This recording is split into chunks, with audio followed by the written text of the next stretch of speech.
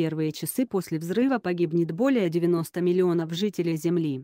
20 сентября 2019 года независимое военное обозрение в первые часы после взрыва погибнет более 90 миллионов жителей Земли. Иллюстрация. Pixabay.com Американские ученые создали анимационную модель ядерной войны на днях ученые Принстонского университета, занимающиеся исследованиями в рамках программы «Наука и глобальная безопасность». Science and Global Security В. YouTube Показали миру аудиовизуальную модель, демонстрирующую возможный сценарий развития ядерного конфликта между Россией и США. Четырехминутный ролик под названием «План». A Его авторы – довольно видные ученые в области ядерных исследований, занимающиеся изучением научных, технических и политических проблем в этой сфере, сопроводили такой подписью. В программе SGS разработана новая имитационная модель вероятной эскалации военных действий между Соединенными Штатами и Россией с учетом реального состояния ядерных сил, их целей и оценок количества жертв. Согласно подсчетам, в течение первых нескольких часов конфликта будет убито и ранено свыше 90 миллионов человек. Они также указали, что создание этого видеоролика было мотивировано необходимостью демонстрации возможных катастрофических последствий реализации США и России планов ядерного столкновения и его опасность для судеб всего мира. В последние два года риск ядерной войны драматически возрос, поскольку США и Россия отказались от долгосрочных договоров, регламентирующих контроль ядерных вооружений, начали разрабатывать новые виды ядерного оружия и расширили диапазоны условий, при которых они могут начать его применение, написали создатели компьютерной имитации. В представленной модели конфликт начинается атаками с использованием обычных вооружений, но затем Москва якобы нанесет ядерные удары по подразделениям ВС США и НАТО на приграничных территориях Польши и Германии. В ответ на это Вашингтон отдаст приказ о нанесении ракетно-ядерных ударов по Калининградской области. После этого конфликт обретет глобальный масштаб и распространится на территорию Северной Америки и России. Подсчет числа жертв конфликта проводится при помощи программы NukeMap разработанной несколько лет назад одним из авторов ролика, профессором Алексом Веллерстейном. Alex Wellerstein Риторика о возможности использования ядерного оружия в военном конфликте, которая все чаще звучит со стороны представителей США, вызывает у России тревогу и вынуждает ее соответствующим образом реагировать. Об этом заявил 16 сентября заместитель министра иностранных дел РФ Сергей Рябков в эфире телеканала НТВ.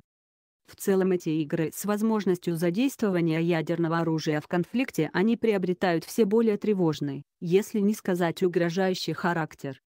Мы вынуждены на это реагировать, в том числе с точки зрения собственного военного планирования, сказал замминистра. Рябков также отметил, что такая обстановка стала следствием политической линии Белого дома.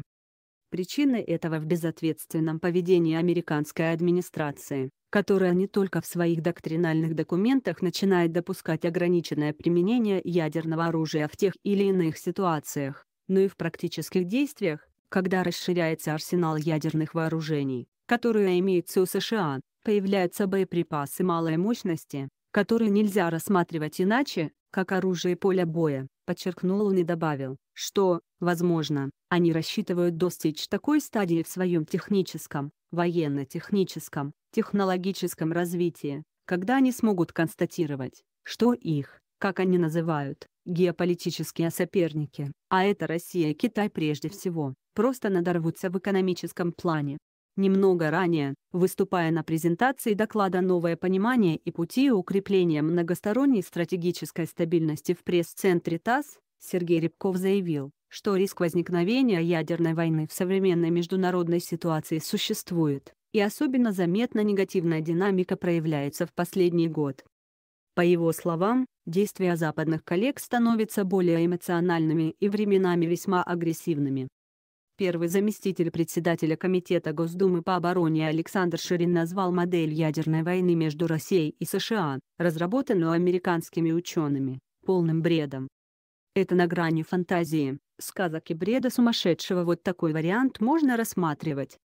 Во-первых, огромное количество атомных электростанций в мире находится на территории Российской Федерации и всех остальных территорий. Ограничиться ударом по какой-то конкретной территории невозможно, потому что территория будет заражена на сотни лет.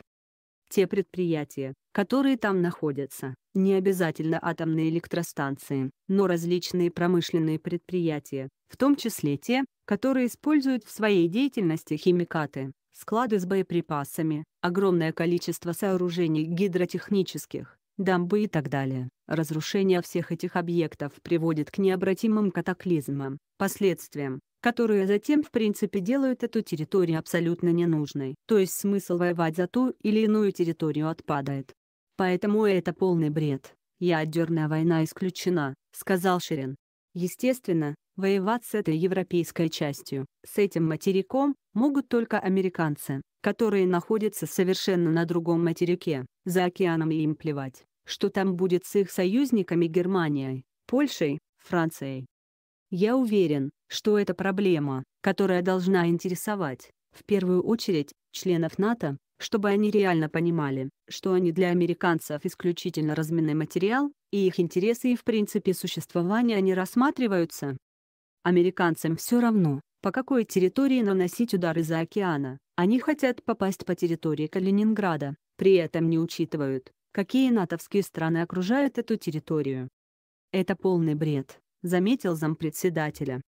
Он также напомнил, что в России внедрена система неотвратимого удара, автоматика которой сама отдаст команды крылатым ракетам с ядерными боеголовками, даже если даже некому будет нажать кнопку. Владимир Иванов.